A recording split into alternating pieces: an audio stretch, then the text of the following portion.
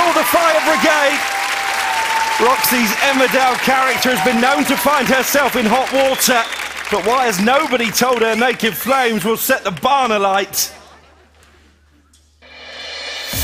Don't attempt the knee counterbalance with a full belly.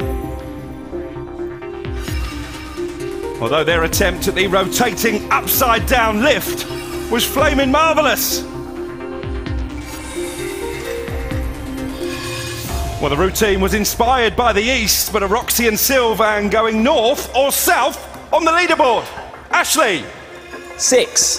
Oti, Seven. Jane, 6.5. and Chris. 6.5.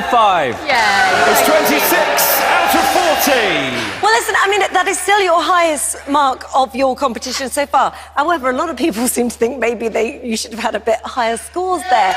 You, you wanted to do this justice, didn't you, this dance? Yeah, no, I really did. It was such it was such a big lift as well at the end, and there was a lot of responsibility in kind Yeah. of playing my part. So it was really important that I kind of got through it and you know on It was two feet. very nerves sexy. in that as well because you know we had this little Landed on the head thing. rehearsal, Yes, and well done exactly. for, You were very brave Oh. to for get getting back, back into, into it it again. and Thank you know you. throwing Now, yourself. apart from Sylvain letting himself go a bit, judges, what did you think? Jane? Um, I thought it was a beautiful routine. I, I loved the choreography and everything, and um, I, I didn't notice Sylvain at all. Oh, yeah. No, I was watching, I was watching Roxy because I think she skated it beautifully, Yes. and I can see that your skating is improving all the time, hence the higher marks. So well done. Chris, please. I think it was a really well choreographed routine for you because it showcased you. Nobody was watching Sylvain at all. Um, what, what, in the lifts, you take lovely positions, you glide up into them and out of them.